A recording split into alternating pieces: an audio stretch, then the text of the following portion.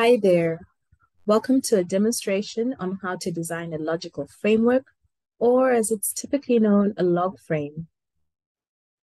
This video forms part of a series that we're working on called Components of an M&E Framework.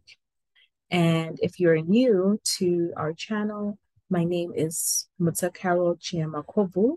I'm an M&E specialist with about 10 years worth of experience, and I'm from Data Lab Africa. On this channel, we talk about all things M&E.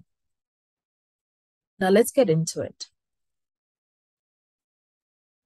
If you recall, in the last couple of videos, we have been talking about a results framework and how that fits into a results-based management approach.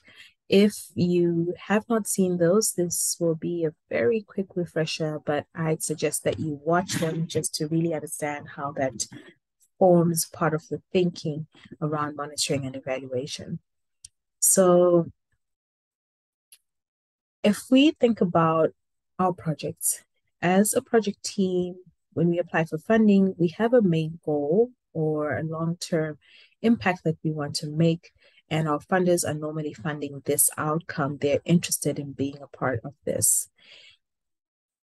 As an organization, we will then say, what can we pour into this project um, in terms of time, in terms of labor, the financial resources, and the stakeholders who we can have involved and putting all these together, we can then run a set of activities uh, in terms of workshops or trainings or interventions.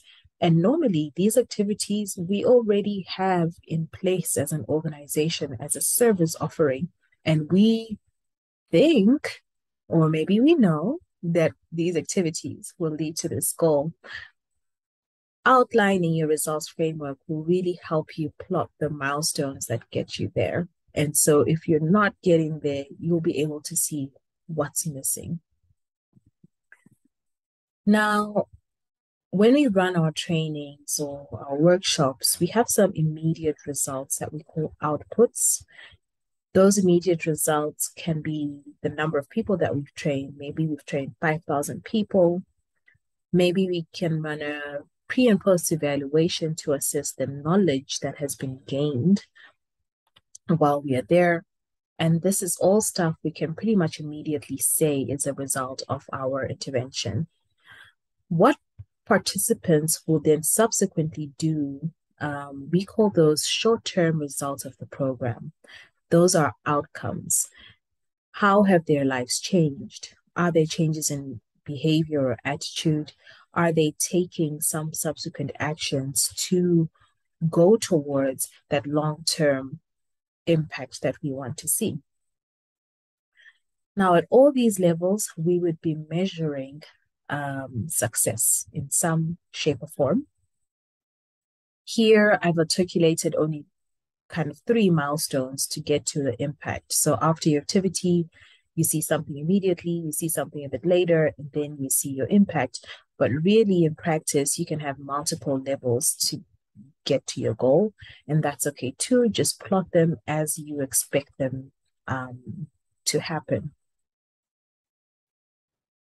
For this demonstration, I've heavily leaned on workshops and trainings, but we could, for example, talk about clinics, um, maybe you are wanting to build clinics in a particular community so that you can increase the access to healthcare. That is your long term achievement or goal or impact.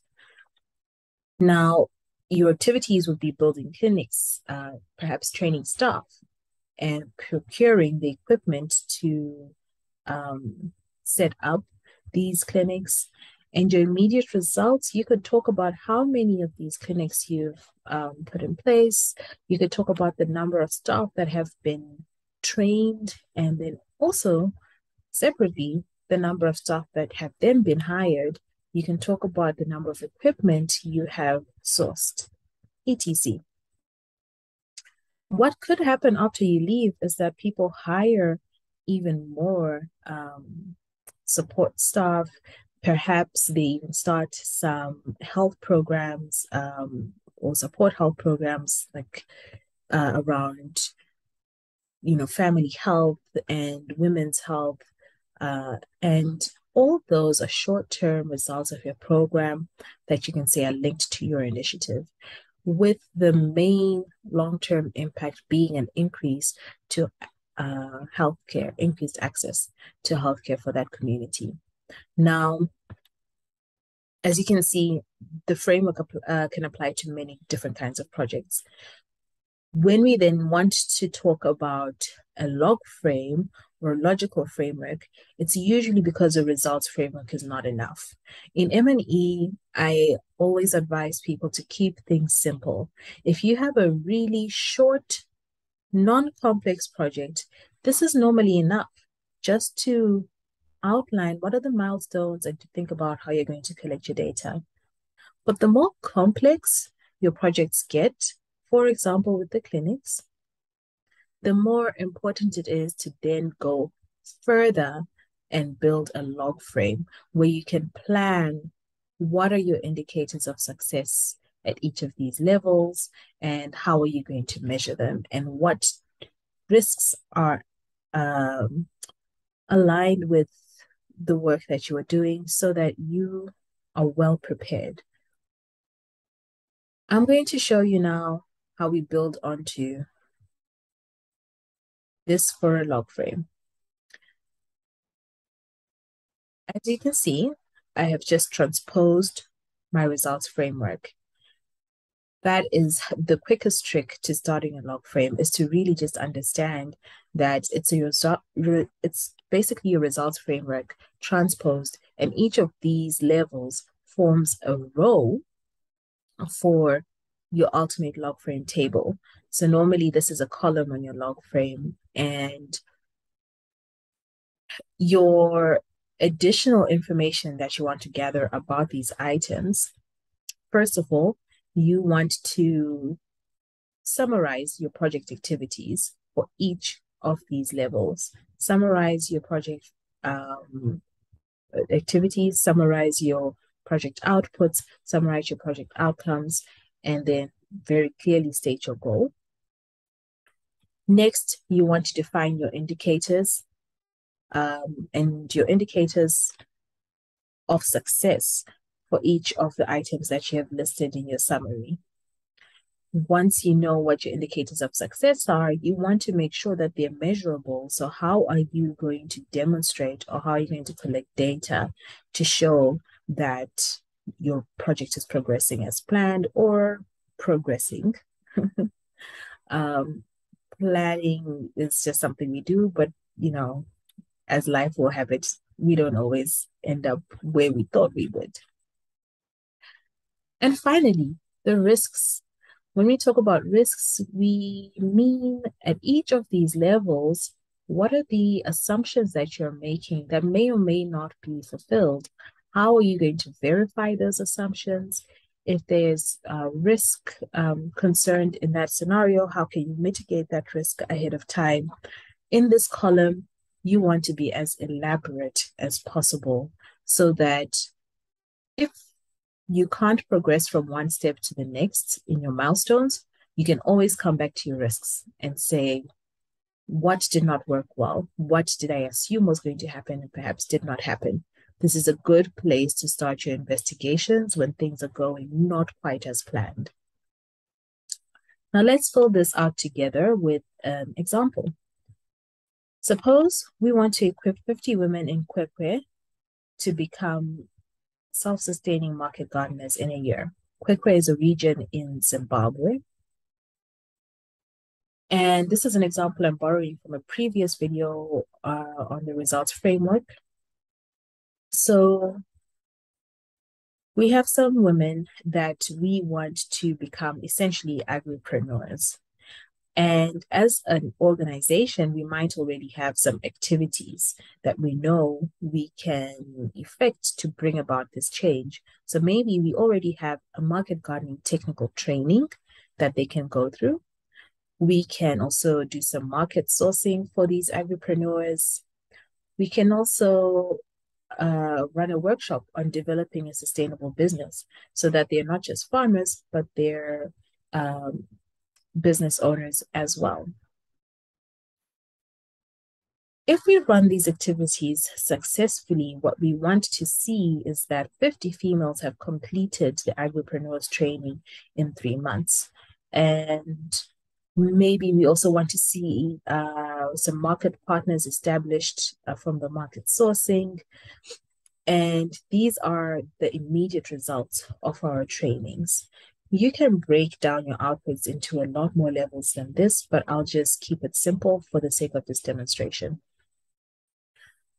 The more short-term results or um, the outcomes that will come from having done our intervention and achieved success um, are that we could find a vibrant community that has better pricing and differentiation for local suppliers because there's suddenly 50 whole extra um, suppliers of food in the market.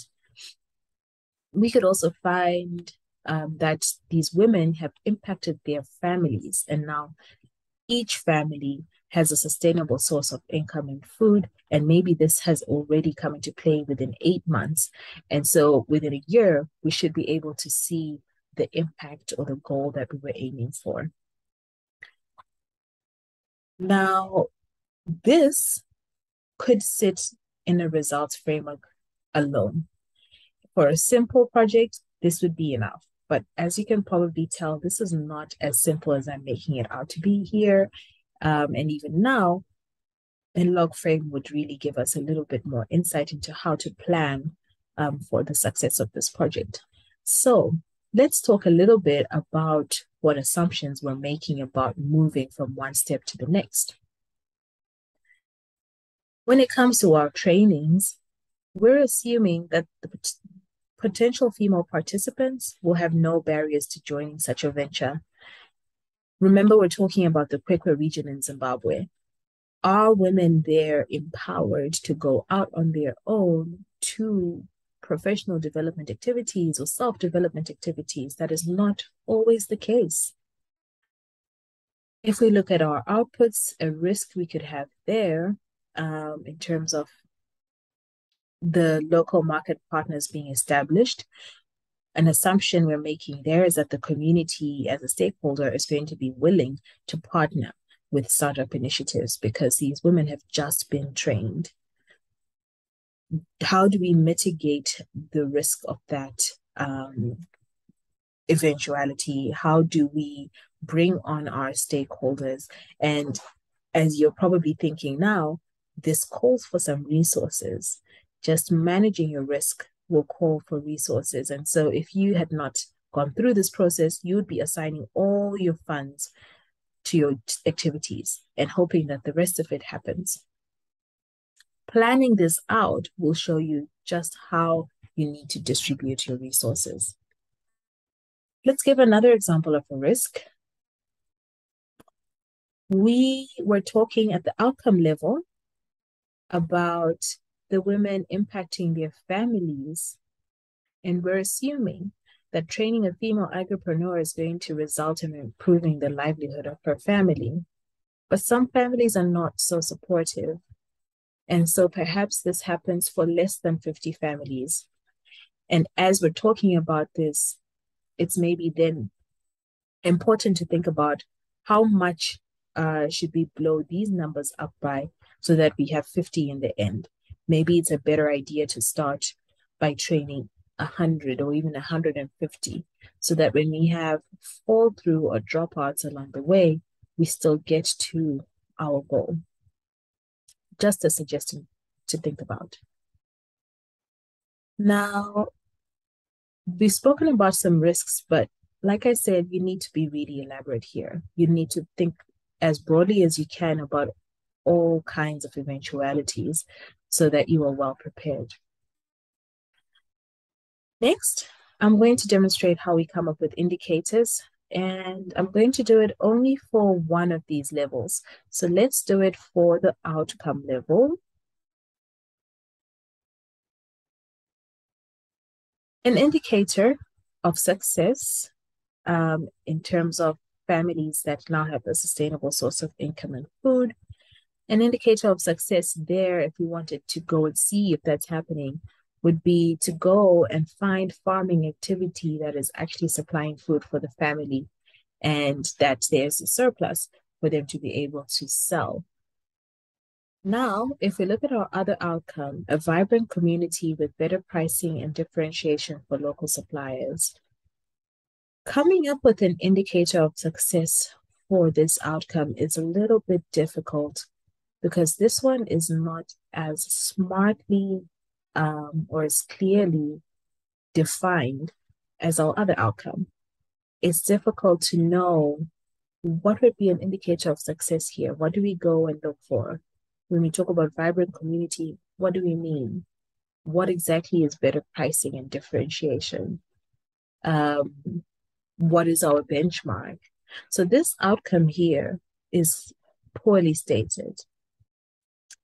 I would suggest that when you are defining your outputs and your outcomes, be specific, make sure that they're measurable and attainable.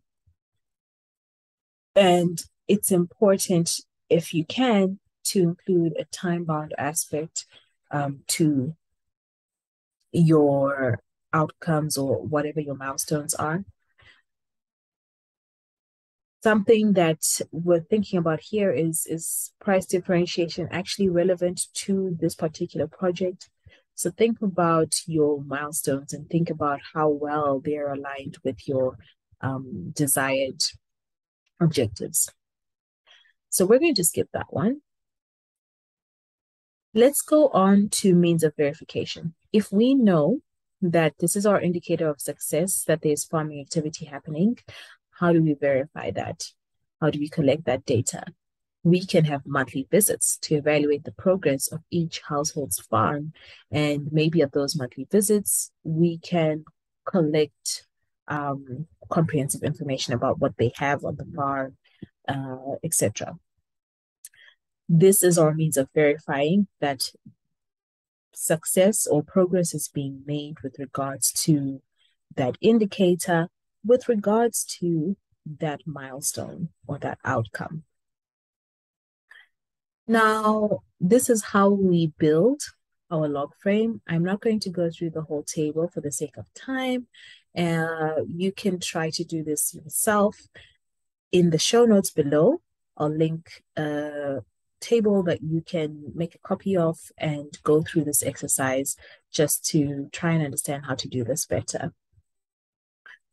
You'll notice in the top right-hand corner, I did not include a risk or assumption for our impact or our goal. That was deliberate. Normally, we don't have a risk or assumption at the goal level because all of the risks that you list here at all the other levels are essentially the same risks that would be aligned with your overall goal. And so this is normally empty. Sometimes you might see some risks listed here that maybe don't lend themselves well to some of these outcomes or outputs or activities. But normally, if I see something like that, um, as a specialist, I know that that is a sign of poor planning. Whatever risk is in here usually means you have an additional milestone that you have not listed somewhere here that you need to think about. And so if you find yourself adding risks here, try and figure out is that a milestone and at what point does it come into your journey from your activities to achieving your goal?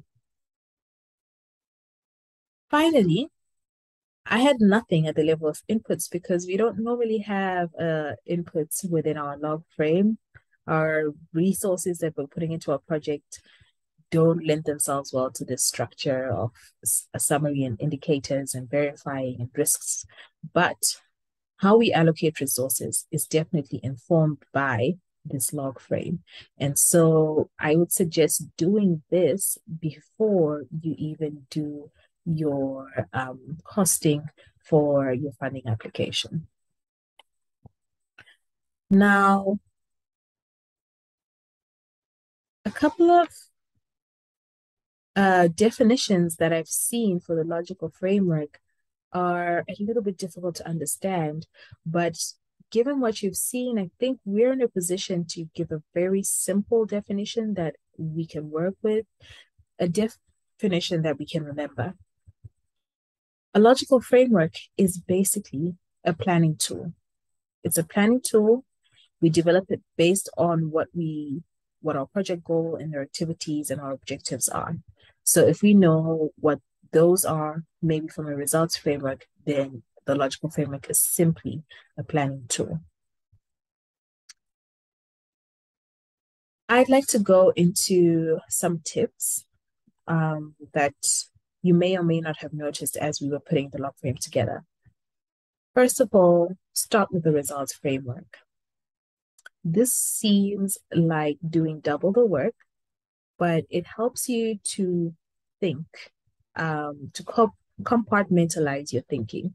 If you start with outlining how you're going to move from your inputs through to your goal, and you're not looking at this big table that you have to fill in, it's a lot easier to get that structure right and get that first column of the project summary already done just by thinking about your results framework. By the time you get to your log frame, you already know that you've got that set and your log frame is just building on top of that. Starting with the log frame without a results framework can be a very confusing process. So I would say work this way around first. Um,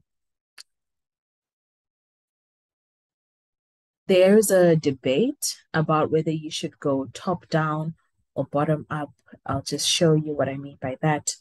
Um, so top down would be start with your goal and work your way down to your outcomes and outputs and activities. Bottom up would be the other way around. Um, you'll notice that I did the goal and then I talked about the activities and went uh, bottom up. How you do it is really up to you, and it differs from project to project because of what you have access to and what you already have in place in order to achieve the goal. So, do what works for your scenario. You may um, go between your goal and activities or your outcomes and activities quite a bit as you put this together, uh, and that's also fine. So the results framework definitely helps just to start with a solid understanding of what you're trying to achieve. Number two, make sure you have clear, logical steps to reach the goal. Are your milestones um, laid out in good causal logic? We have to start at A to get to B, to get to C, to get to D, and so on. Number three, Make sure your project summary is specific, measurable, attainable, relevant, and time bound. As you saw, we had that one milestone or outcome that just wasn't very um, smartly or uh, clearly defined, and it was very difficult to then plan for it. So, if your summaries or your uh, milestones are smart, then it's easy to move forward.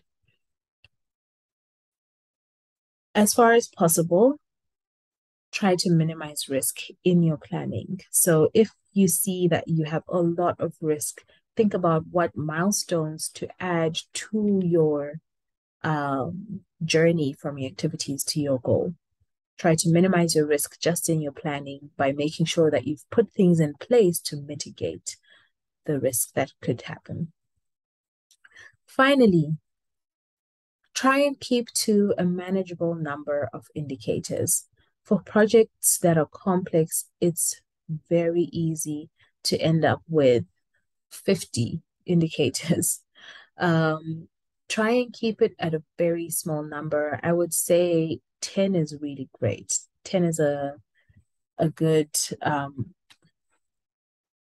solid manageable number uh, a little bit more is okay. Once you start getting to 15, 20, you should be concerned and perhaps think about either cutting it down or uh, reassigning some responsibilities. I think we will stop there for today.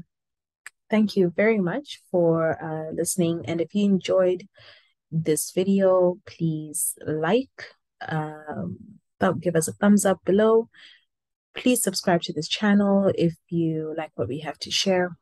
my name is Mutsa, and my email is on the screen in case you want to reach out to me.